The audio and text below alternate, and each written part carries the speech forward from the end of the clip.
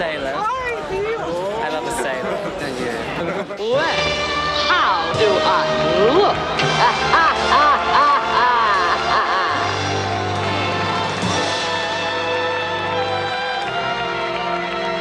Barbara Bennett is here doing a cover story on me for Redbook. I don't want any trouble from you.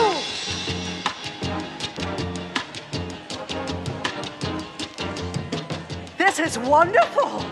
This is wonderful. You, you deliberately embarrassed me in front of a reporter. A reporter. I told you how important this is to me. I told you. I don't know what to do with you. How? How could this happen? How could you humiliate me this way? Look at me. Why can't you give me the respect that I'm entitled to? Why? Why? Answer me! This is appalling.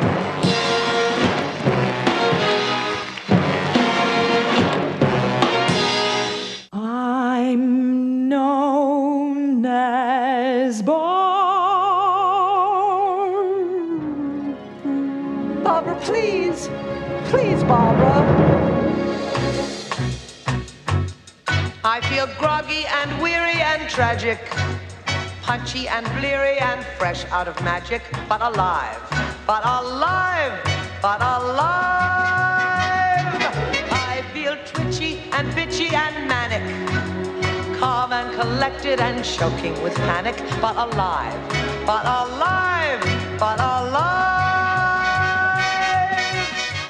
The name Lypsinka tells you what you're going to see, but it also drips with irony, I think, this name. And I wanted the name to evoke also uh, an exotic one name fashion model, i.e., Veruschka or Dovima or Wilhelmina, Lypsinka. I'm a thousand different people,